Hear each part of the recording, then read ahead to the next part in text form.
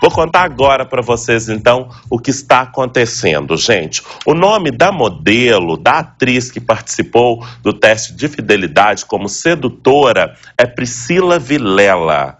Gente, o teste em que ela participou, em que ela trabalhou, foi ao ar dia 14 de julho na Rede TV.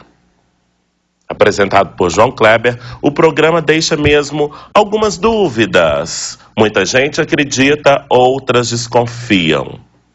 Essa moça que está aí no meu vídeo, que vocês viram, fez denúncias sobre a emissora e a atração. A moça postou um vídeo no YouTube falando que os testes exibidos no programa são todos combinados e que ela não recebeu o cachê prometido por conta de seu trabalho. Fala sério? O bicho pegou. Sou a sedutora do teste que foi ao ar dia 14 de julho na Rede TV.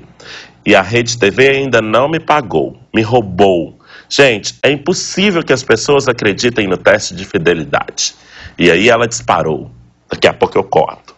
Deixa eu falar para você que está em casa e que é um sorriso bonito. O João Kleber é chato, mas essa imagem, essa última aí que a gente mostrou, ele tá até bonito, não tá, gente? Porque ele é muito chato. Nossa! É muito chato. Não é só porque ele faz muito suspense nas matérias, nas entrevistas, até no teste de fidelidade, não. É porque realmente ele é chato, né, gente?